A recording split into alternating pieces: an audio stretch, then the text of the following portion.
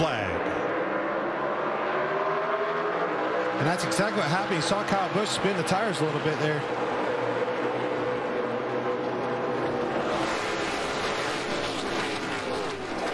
Oh, Blaney's getting turned by Larson.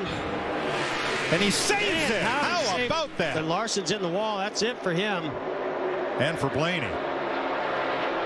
Kyle Busch out front. Birthday boy trying to get this done. Three wide in the back. Will we make it to the white flag? One lap to go. Sponsored by Credit One Bank. We do.